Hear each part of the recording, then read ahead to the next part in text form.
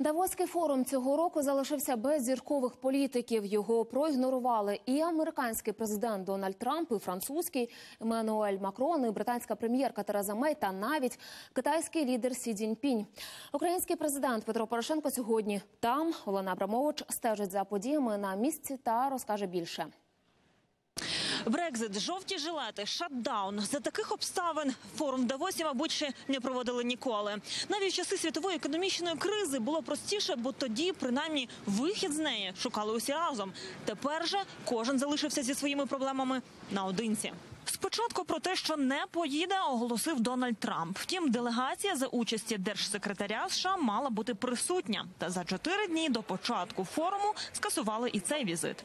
Держсекретар Майк Помпео звернувся до учасників форуму з допомогою телемосту. Ми чекаємо, коли Росія почне змінювати свою поведінку, чи то поведінку в Україні, чи у роботі, яку вона провела, щоб вплинути на вибори тут у США, вплинути на вибори в усьому світі. Це не поводження країни, яка хоче бути частиною міжнародної спільноти. Найвагомішим виступом наживо у перший день форуму стала промова новообраного бразильського президента Жаїра Болсонару, того самого, який раніше дозволяв собі сказати, що зґвалтування жінкам треба ще заслужити. На форумі Болсонару закликав інвестувати у його країну.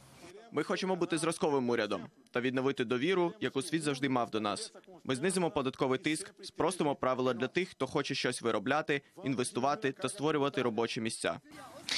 Другий день дискусій став жвавішим завдяки німецькому канцлеру Ангелі Меркель. Говорили на тему штучного інтелекту і як він вплине на наше майбутнє. Про нові технології та IT говорили і в українському домі в Давосі. Центр відкрили, аби інформувати інвесторів про можливості в Україні.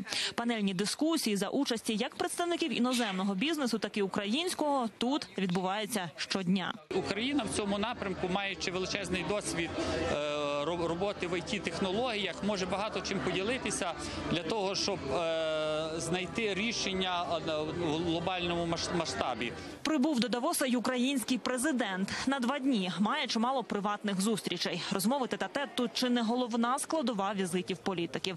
Бо поки на відкритих майданчиках відбуваються десятки оглядових дискусій, то за зачиненими дверима досягаються сотні конкретних домовленостей. З Давоса Олена Абрамович, Євгеній Камінський. Подробиці Європейське бюро телеканалу Індар.